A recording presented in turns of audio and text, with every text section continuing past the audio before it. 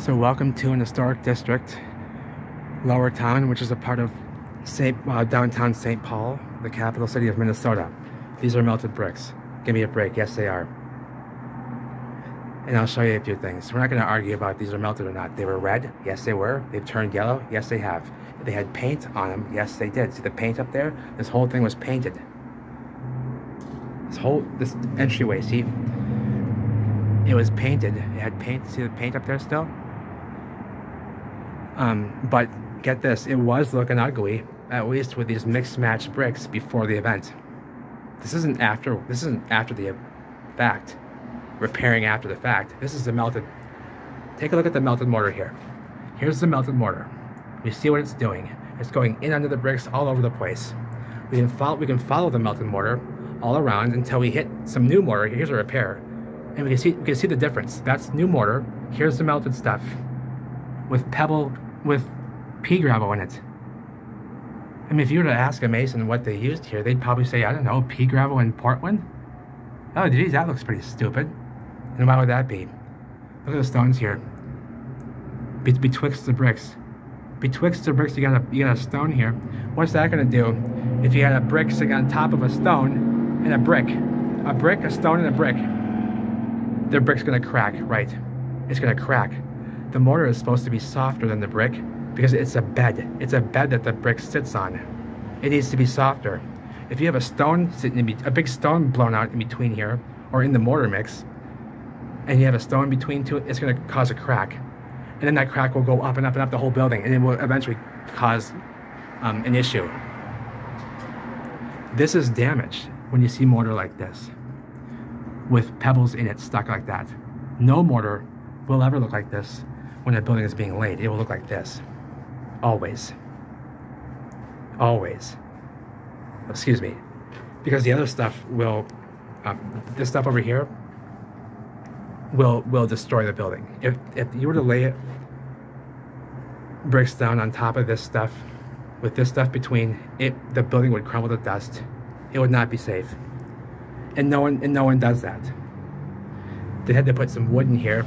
This wood um, to kind of re relieve some areas. See the wood? There's likely wood behind these because these seem kind of pointless and they're, right at these edges of these bricks. There's probably just more of these between the joints to kind of help. I think, I think this helps aid with the problem that you get from these being blown out.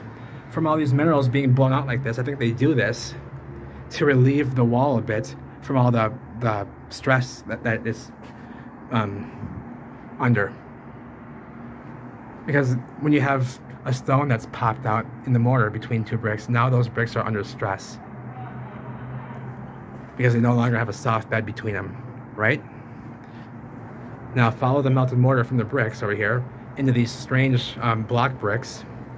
They're bricks too, same material, fired bricks. But these were obviously done before the event, so this was looking strange and goofy before the event. It was looking strange and goofy before, you get what I'm saying? Here's new mortar. And look between these bricks. That's the melted stuff. So this was like this before, the, but it was painted though. So maybe that's why they had it looking goofy, because it was painted anyway. It had stucco, that's the original stucco right there. And it's kind of bled into the bricks all over the place. So it had stucco, and then the stucco was painted on top of that, it seems. Or maybe that's a repair, an old road repair. Because this is old. This is old here. It goes in under these damaged bricks, see? Underneath it, that stucco stuff. It's going, it's kind of mixed in with the mortar. It might just be mortar bleed. It might be mortar snot just bled out right there. You never, it's hard to say. It looks almost like a stucco. But it could just be mortar bleed out because it is very similar in resemblance to the mortar that's all around here too. So it might just be mortar snot. Let's, let's call it that. The mortar snot. Sorry about the focus. Sorry about the focus. It's I'm using the phone and I'm not gonna the camera the camera is, is, is fighting me. He was kicking my ass, so I gave up. These timbers are original. Some of them are this huge, enormous timber. It's beautiful too. Look at this timber. It's enormous. And it's all it's done, it's routed very nicely. This has been replaced on this side. That's original timber. And you know, you know how it's original? This is how you know. Check the mortar. We know what the new mortar looks like, and we know what the melted mortar looks like. Well, there should be a, a bed of mortar between this, this um, column here, and there is. And what is it? But the melted stuff. The melted mortar is, is what's uh, fastening this timber to the building. So this is original. This is original. There would be a new layer of mortar if this was a replacement after the fact. There'd be a new uh, layer of mortar here, fresh mortar. There's not. This is the melted stuff. The melted stuff. So this is original. That's how you tell. It's that easy. You have, the mortar tells you a lot. The mortar will tell you a lot. You have to look at the mortar before you really know what you're looking at. Here's the side, there's a big hole right there. And all these buildings, look at the glass blocks. Those are all glass blocks all the way up. And this is a multi-sectional structure. But wait till you see the bricks on this building. There's some stuff going on right in there. Want to look at? But uh, let's take a look at these first. This is interesting. You're gonna so. Okay, so over here. Let's let's look over here. See if I can zoom in close enough. Yeah, I can. Good. It's a bit grainy, but it's good enough for what I'm going to show you. See the bricks over here? Relatively straight and normal. English standard normal bricks. But let's follow them towards the edge of the building. Now watch the condition of these bricks and how they how wavy they get. Look, look over here. See right here? And now watch up here. Look how loose we're getting. Mortar is vacating. Mortar is vacating. Now look at these. See over here, they look very straight and normal, see? Very straight and uniform in courses. It's an American bond. See the row of headers, followed by seven rows of, of stretchers and then a row of headers, seven rows of stretchers and a row of headers. This is an American bond. But look over here. You can't tell what the hell it is. There ain't no bond here anymore. The bricks have all gone different shapes and different sizes. They've, some have mashed together and some have not. Some have broken apart ain't no bond there anymore. And you're not to build a building this big and pretty. Hang on a second. You're not to build a building a building this pretty, do it perfect over here in courses, and just get lazy over here and do this. Because this is gargantuan. It would, it would crumble to dust. And, and who would approve of that? Who would approve of that being okay when you did it perfect over here, right? Perfect courses. And then what happened over here? Who did this side? Who did this side? or what happened? It's what happened, yes. This is a masonry frame building. This is, these are um, brick, this is a brick frame rendered with cement. See the bricks underneath it? So this is a masonry frame building. Some of them are concrete frames, concrete and rebar frame, the old buildings. Some of them are iron frame, and some of them are masonry frame. Like this one's a masonry frame. That one's a masonry frame. This one's in, I got the, yeah, so let's take a look down here. So that ain't, that ain't right right there. You see that? That ain't right. You can't even follow, you can't even follow the course or the bond anymore. It's, you can't tell that it's, it's an American bond. You can over here though. You can see it's clearly, it's, it's an American bond. You got a row of headers at the bottom right there and seven rows or six or seven rows of stretchers and a row of headers and, and it goes on and on but over here, look at these. They've all like blown into headers. Just a mixed match mess, see? These are fake glass blocks here. These are fake ones. The real ones are over there around the corner.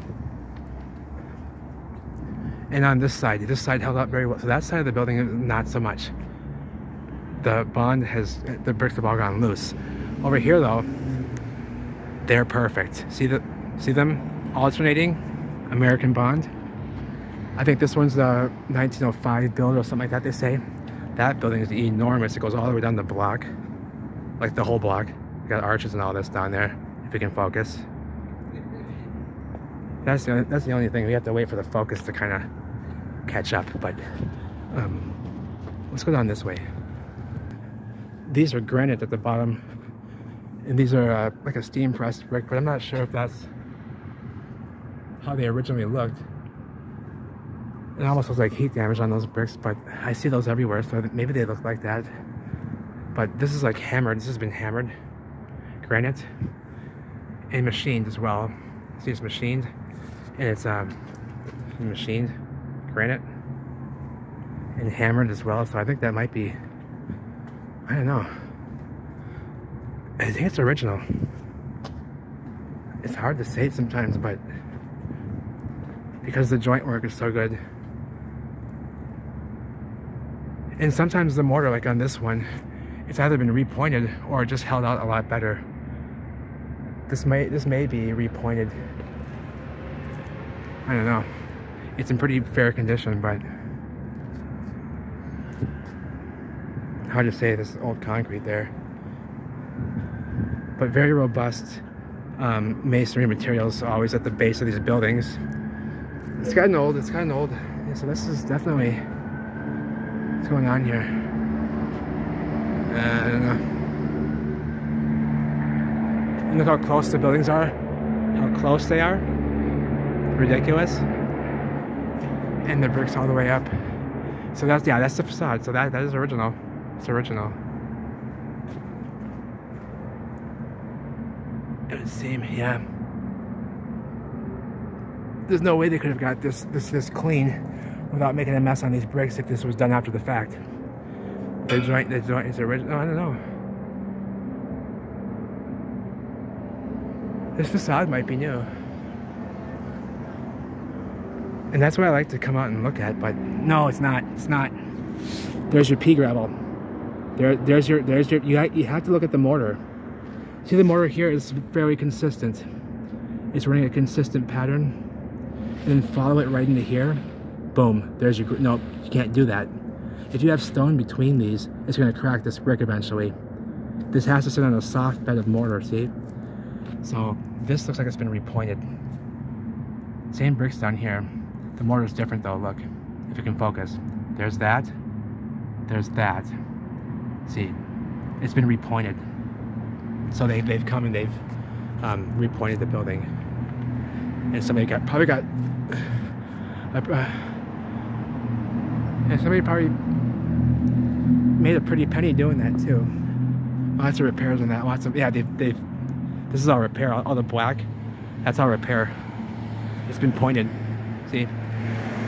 That's all fresh pointing, uh, pointing work, so somebody paid to have that building really restored. And look at the top, there's a paint still on it up there from whatever the last business was. I can't read it. Patio, something patio. We've been between those, we've been betwixt those two. And they're all, they're all old world structures. This one's limestone all the way up to the top. Uh, we've been down this alleyway before. And I think we'll go down this one again because we're gonna see something down at the end here. See but a little late night action for some of that in the dark alley brickin', baby. In the dark alley brickin'. Late night itching, glue sniffing, panty ripping. Son of a bitch's name is Pants on the Ground, baby. Son of a bitch's name is Pants on the Ground, and we're gonna find some more some more evidence. These are pretty. Look at these. Masonry. Uh, everything's fancy. Has a handle on it. Why is there a handle on it? In the frame. It's, they, they do weird stuff. What's what's fastened in with? Yeah, it's, fastened in with. Uh, oh oh, those are like old um, Phillips. These are really old Phillips. They are Phillips heads, but old ones. Ah, yeah, that's an old handle. That's their style. The metals are always like, this is bronze, it seems. Yeah, that focus, eh? What a, what a, what a, what a joy. My camera's dead over there. It took a dump, the battery took a dump while I was uh, making a video, so. Uh, do we need, do we need relief arches going into the ground? No. A relief arch is for one thing. To relieve pressure of the building above, above said windows below. That's why they make a relief arch. It's not, it's not anything to do with foundations. So they shouldn't be here. Relief arches are for one thing. For relieving pressure above doorways and windows. That's what a relief arch is for. And they don't belong on the ground. and nor do nor do windows. I'm getting I'm getting shot in the alleyway. now, if, now, if he had been, if he, if he had been packing just now, he would he would have just laid me out in the in the middle of the dark alley here. He would have laid me out because I was not ready for that. Um, these are these are timbers. These ones are timbers. Oh, it's masonry. God, everything's fancy. Look at this. Look at these strange doors here. What the hell are those? Look at an angle. Oh. Yeah, he would he would have absolutely just laid me out just there. You just see him? He was shooting at me. Okay, so um, this has been painted. I mean, come on, you see the damage. This they've painted over it because it's, it's so damaged. Uh, here's the only thing. Here's the only bricks we can see, and they're yeah, they're yellow. They're yellow and gray, and they were red. This one's still red in here, kind of. See here. Let's focus. here. you see, see the mortar condition, like pea gravel. It's all messed up, muffed up, and they painted it because it's so bad. You see how bad it is with the paint on it. See, there, heavily damaged.